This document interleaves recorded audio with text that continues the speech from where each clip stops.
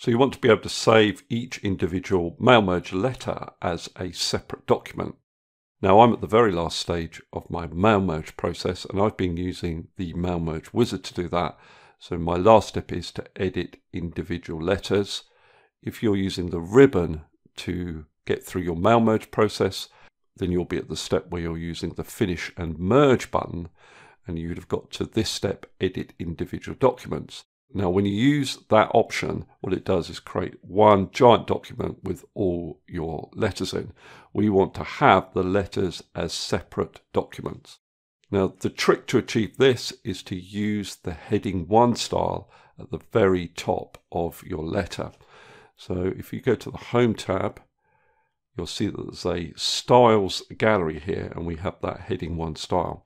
Now what I'm going to do is apply that heading 1 style to an empty paragraph at the top of my letter. So with my flashing cursor in position, I'm going to go to this heading 1 style.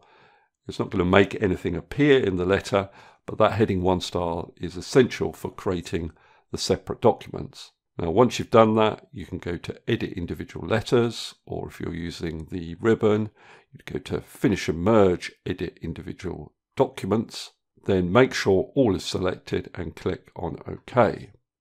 So this document contains all the letters in the merge and I need to save this document to the folder that you eventually want all the individual letters in.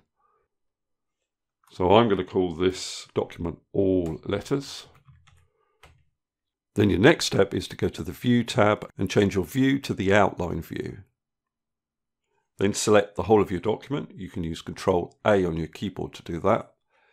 Click on the Show Document button and then click Create. Then Save. And if you now go to the folder that you saved your original document, you should find that you have an individual document for each letter. So for example, if I open this one here,